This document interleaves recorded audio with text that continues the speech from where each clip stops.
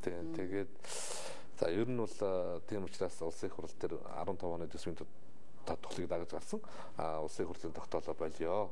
Бүгдөөрэнд нь одгомоор байна гэдэг ийм байдалтай болж байгаа. Ер нь бол тэгээд хүүхдийг ялгуурлах нь хэрэггүй баха гэж нэгдүгээрт ингэж бодож байна. А хоёрт нь бол хүүхд энэ одоо хэлцэхэд өчигдөр энэ төр бол нэг юм дээр цөмөрөө санал нэгдсэн бүх намын бүлгийн гишүүд энэ хүүхдийн мөнгө гэдэг бол халамж биш юм аа.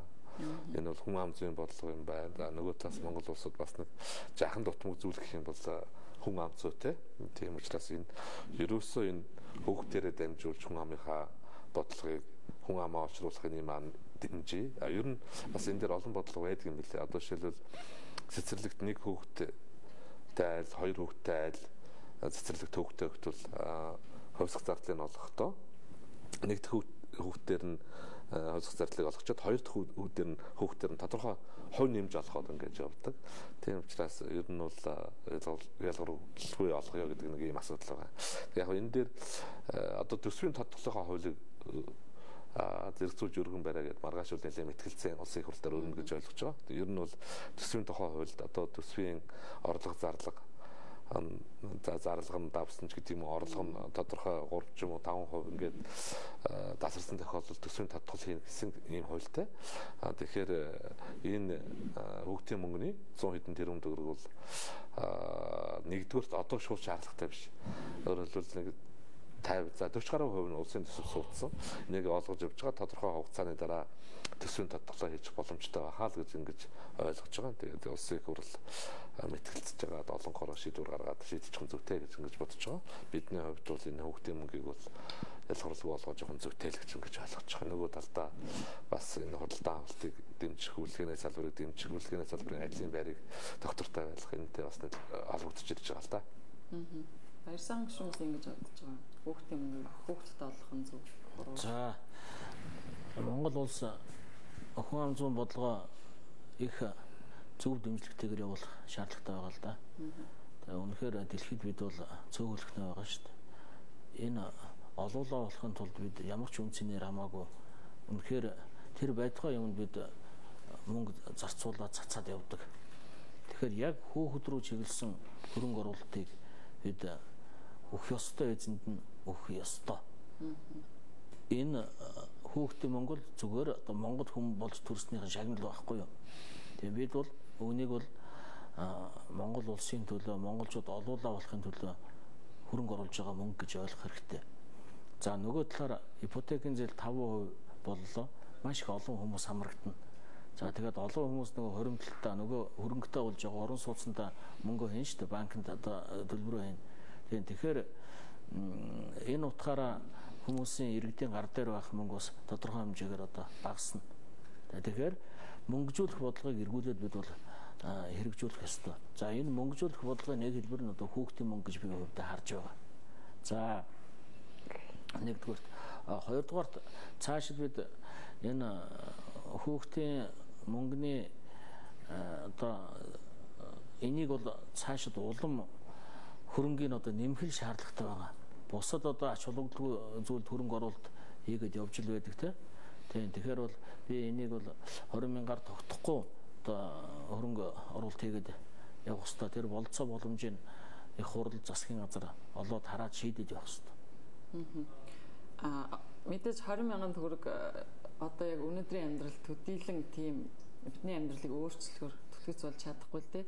А гэхдээ 20 мянгаыг цааш нь нэмээд хэд болгох боломж биднэрт өнөөдөр байна вэ гэдэг нь бас асуудлах хүүхдийн мөнгийг өгжөөсөнд орвол эцэг эхийн ажилдаа орлохдоо байнгын амжиргааных нь үндсийг хангаад өчгөн зөв юм а гэдэг зүйлийг бас зарим хүмүүс хэлж байгаа юм л да. Тэр гамбат гişүүний хувьд энэ хүүхдийн мөнгийг цааш бүх хүүхдтэй яг ингээл олгосон хിവэрэ байх хэрэгтэй. Юу яг ерөнхийдөө бол тантай бас санал нэг байна л да. А гэхдээ бас энд юу байна? А хүүхдийн мөнгө бол хөгжлийн сангаас те гарч хөөгдөд очиж байгаа. Их үүсвэр нь бол хөгжлийн сан маань юу юм гэхээр энэ уул уурхаагаас орж иж байгаа орлогоор ингэж бүрдэх санал л да.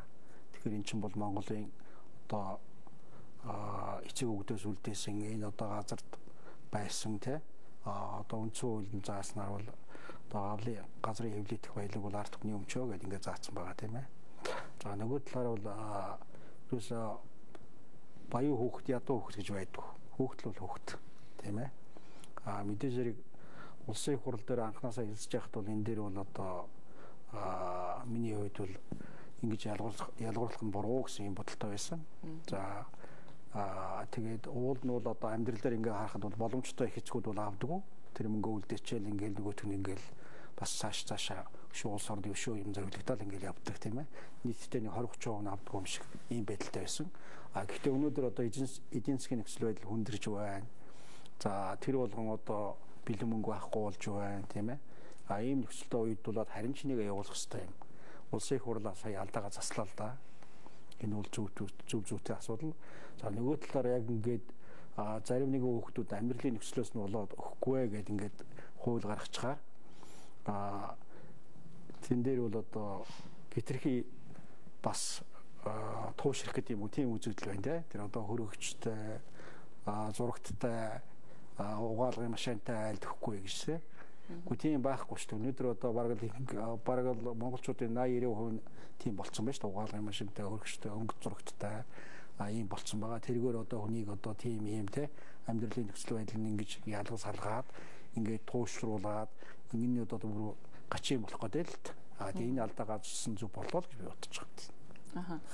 Дээрэс нь малчтайгаа бас Монголын төр амьдраанд нь туслах ёстой гэдэг ийм саналыг өнөөдөр засгийн газрын ерхий сайдын зүгээс гаргаж байна л да. Тэгээд холбогдох сайд нартаа ялангуяа энэ малчтын нуруунд дээр байгаа зээлийн асуудлыг, зээлийн хүүгийн асуудлыг нэг оронтой тоороо оруулах ямар боломж байгаа талаар судлаа гэсэн үүрэг даалгаврыг өглөө.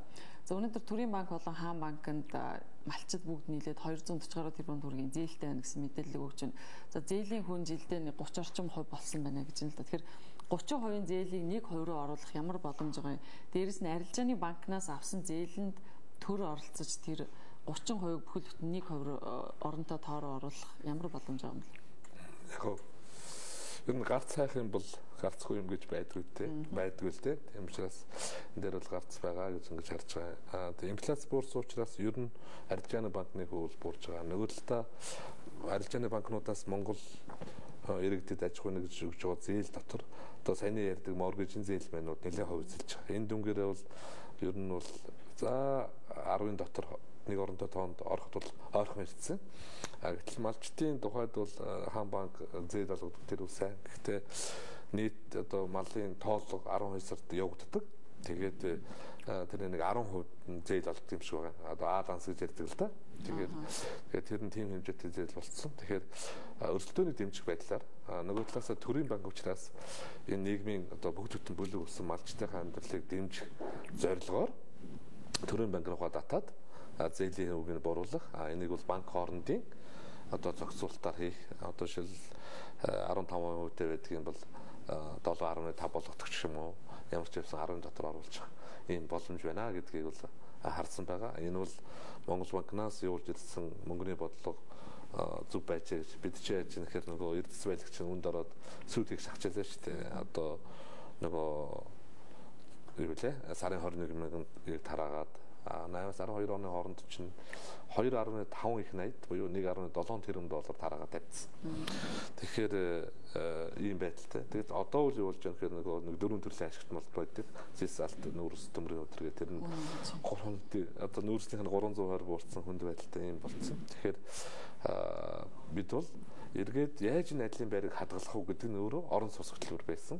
А тэндээ арилжааны банкнуудаа мөнгөжүүлээд энэ бүтэн байгуулалтын салбарч авч явлаа. Одоо бид яаж яах гэхээр нэгэнд инфляц дээр нь орон сууцны зээлийн хүүгээс энэ нийт зээлийн хүү буурсан учраас малчт руугаа энэ бодлогыг хийх боломж байна. Захиргааны аргаар биш. Өөрөөр өрсөлдөөнийг дэмжих хаан банк, төрийн банк хоёрт өрсөлдөөнийг дэмжих байдлаар энэ асуудлыг бас багасгах боломжтой байна гэдэг яриа хэлцээр явагдаж байгаа. Энийг судалж үзээд бас шийдчих боломжтой болов уу гэж ингэж үзэж байгаа. Тийм. Малчтыг өөрөөр яаж дэмжих боломж байна гэж харж байна? За ер нь бол за би одоо хөдөө орнот асуухал бол Баянгор аймгаас сонгогдсон гишүүн л дээ. Тэгэхээр а үнцэн хуульч байгаа тийм ээ. Мал бол одоо тэрийн хамгаалтанд байна гэд. А нөгөө талаар одоо үеийн үед одоо Монгол улс орныг одоо үдий зэрэгтэй байлгаж байгаа тийм энэ одоо мал малч байгаа шүү дээ. Тий нийтдээ Монгол улсад нэг 160 мянган малчин байдаг, малч өрх. За сая таны хэлдэг тэр 240 тэрбум төгрөгийн зээлтэй байдаг. А тэгсэн мөртлөө одоо 30% хүү төлдөг байхгүй юу жилдээ. Энэ бол асар их өндөр хүү. За өнөөдөр ингээд арчилсан нам одоо малчтаа дэмждэгэ. Малыг хувьд өсөө. А бүлэг дээр бид нар ярьсан арчилсан намынхан бүлэг дээр. Тэгэнт арчилсан нам их хөрж байна. Одоо малчтаа дэмжих ёстой. Үндэсний баялгаа дэмжих ёстой. Тэгээд одоо өнөөдөр одоо мал махны үн унтсан байна. За дэлхийн эдийн засаг хүнд байгаа гэдэгтээ тэр бүгд ойлгож байгаа. Улс орны эдийн засаг хүнд байгаа. А гэхдээ бол одоо олон жил маллаа тий одоо энэ сайхан малаа үн өртөггүй болгож болохгүй. Хотондоо хараад одоо малчт маань хэцүү байгаа. Бид нэр одоо хоёр бодлого явуулах хэрэгтэй. Арчилсан нам бол нэгэн тэрх байж байгааг үүдэг. А нэгдүгээрт бол одоо мал махны үн бол одоо бас зохимжинд очих хэрэгтэй. Ингэж унгаж болохгүй. Нэг За хоёрт бол одоо малчин зонгоолны хөдөлмөр энэ чинь бол монголчуудын хөдөлмөр. А нөгөөх нь бол одоо малчтын авч байгаа зээлийн хөв бууруулах хэрэгтэй. Энэ одоо нэг оронтой тоолорох хэрэгтэй. Тухайлбал сая манайгаа их шүү ярьла 8 9 хөв дээр хамгийн наадлан. А энэ асуудлыг одоо яаралтай шийтээ гэсэн ийм зүйлийг бид нэр ярьсан. За энийг одоо засгийн газар төрүүчээс хөдлөөд өнөөдөр өсгөлөө ярьж байгаа юм байна. За нөгөө талаар бол одоо бүх зүйлийн үн унж байгаа дэлхийн нийтдэр тийм ээ За энийг бол одоо малчд бид нар бол ойлгож байна. А гэхдээ бас одоо хэрэгэлдэг гурлийн үн бас унах хэрэгтэй тийм ээ. Гурлийн үн багасах хэрэгтэй. Өнөөдөр одоо 1000 гараа явчих байна л да нэгдүгээр гурил.